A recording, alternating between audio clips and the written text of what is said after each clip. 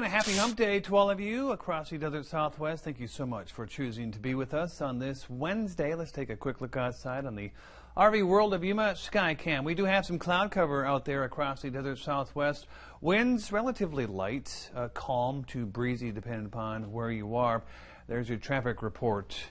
We're right around our average, 103 right now, and that's all about to change tomorrow. Let's take a look at our heat alerts that we have set to go in place tomorrow morning, 10 a.m. on Thursday, will last until Sunday at 8 o'clock in the evening for all of Imperial County, all of Yuma County. Yeah, we're going to see temperatures anywhere between 108 and 116 degrees, so make sure you stay cool, stay hydrated. Stay by a fan, a pool, uh, one of the lakes, but don't stay outside too long in that sun. I mean, you could really start to feel some dehydration, some cramping. Heat stroke is also a big factor, so take care of yourself, your family, and your pets as well. Remember that the pavement, and especially the black tops, really get hot. So if you're going to walk your animals, take your dog on a walk, make sure that's early in the morning or later in the evening when they start to cool down, the pavement that is. Jumping ahead to our satellite and radar, we talked yesterday uh, about the possibility of maybe seeing some clouds. Well, that came to fruition today. Clouds still making their way through Yuma County right now. They'll eventually uh, make their way into Imperial County. They'll hang around with us possibly into tomorrow as well. Jumping ahead to our futurecast, we could certainly use some rain. We haven't had measurable rain since the end of March.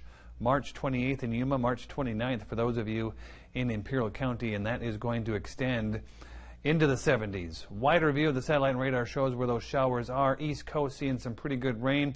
Also, a big uh, blast of showers making its way through the states of Arkansas, Mississippi, and Alabama. We're also seeing some light rain here in the uh, in the desert southwest, not where we are, but in portions of Arizona near Tucson as well. Seeing some rain this month. It's good to see in the state of Arizona.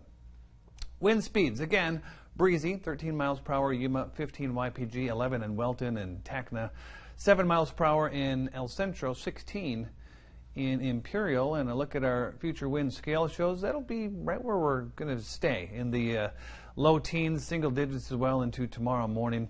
And then after lunchtime, we're going to see those winds again around the teens. Jumping ahead to our air quality index brought to us by the Imperial County Air Pollution Control District.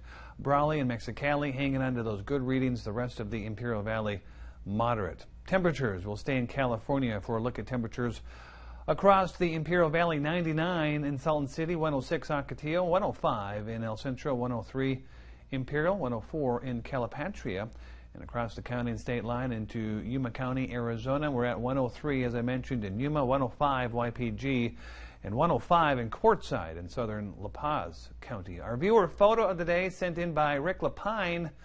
He took this uh, about a month ago, a month and a half ago, at least sent it in. Sunset at the Grand Canyon, and what a great way to showcase one of the amazing picturesque views that we have in the state of Arizona, the Grand Canyon. Rick, thank you for sharing that with us. And if you've got a photo you'd like to share, or a couple of them, like Rick sent in, you can do what Rick did and scan that QR code with your phone. It's like you're about to take a photo. And what happens is you're going to be whisked away to the weather photo gallery where, get this, we already have 150 photos on there, so we'd love to see yours. Upload your photos, include your name, a slight description, or you can also find us on social media or drop it off on our homepage, kyma.com slash share. Here's a look at your seven-day forecast. Again, get out of Dodge. 108 tomorrow, maybe some lingering clouds, very hot on Friday, even hotter, sweltering on Saturday and Sunday, highs around 114. We could see some records start to melt, breezy conditions as well, even hotter for those of you in the Imperial Valley, 110 tomorrow, 112 Friday, 116 on Saturday. Breezy to gusty conditions, gusty winds on Sunday and Monday, approaching 35 miles per